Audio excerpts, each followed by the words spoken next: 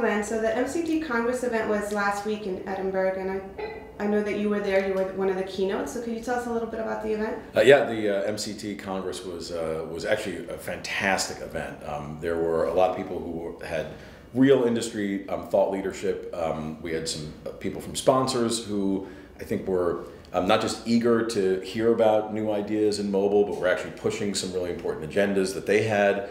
Uh, a lot of interesting vendors talking about cool stuff that they were doing. It was just like a nice social atmosphere. I think it was a self-selecting group of people who were really excited about how the industry can change, and we were just all in one place at one time for a couple days. So it was fantastic.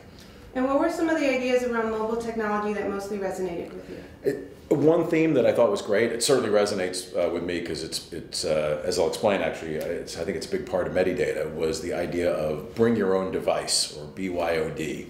So, in the world of mobile, um, you could give people a an iPhone or give people an Android device or whatever it is. Um, and that's really how a lot of mobile stuff has been done for years. People would write applications and put them on a Palm Pilot or a Windows CE device. It would be given to the patient.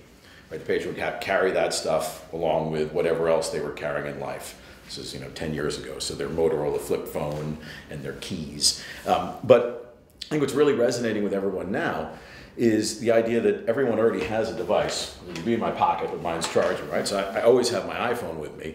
So if I'm supplying data in a clinical trial or doing anything interactive, why not just just you know put the app right on here? Right? Here's I can't help it. You know, here's Medidata Patient Cloud, right? So it just comes with me anywhere I go. And there was a lot of discussion about bring your own device is something that is almost becoming expected, especially as you get into newer generations. The idea that your company is going to give you a device just is starting to seem ridiculous. Bring your own device is, is a almost an inalienable right, like free speech. Um, so a lot of people were talking about bring your own device as it pertains to patients and even um, nurses and monitors working in clinical trials. And as I said, it, it uh, resonates very well with, with um, me because we're taking a bring your own device approach to things like ePRO at Medidata. Also, we didn't call it bring your own device in the late 90s, but the entire Medidata business was built on bring your own device. So for those who've been in the industry long enough, you used to be able to go to conferences and see these slides where doctors would complain about getting all these different laptops for EDC and one of the things that we were saying was, well, any laptop that can go online and you buy something in e-commerce, you have all the requirements for doing a clinical trial already in your office.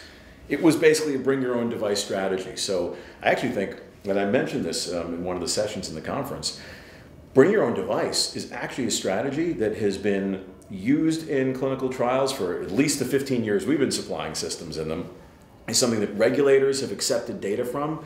And now we just got to take what's really a great idea and make sure we're pushing that into the hands of, of patients and you know whether it's instead of a laptop, a, a, phone or a tablet, using it in these new contexts and mobile. So I think that was a really important theme. So it sounds like the industry has a lot to gain from adopting mobile technology, obviously.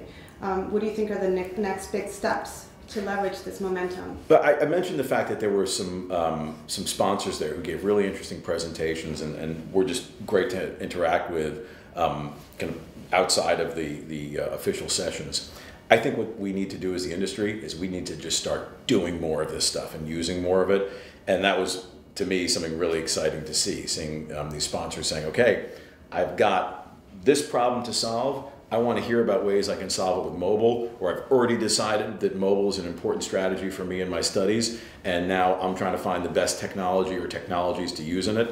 And so uh, I really think this is, um, we, have built it, and now it's time to start using it, and I'm seeing a lot of momentum in that direction. I, I bet this uh, all happens faster than anyone's expecting it. It's just exciting to see that we're kind of in the knee of that curve as it begins to go up. Thank you so much, Glen. Oh, my pleasure.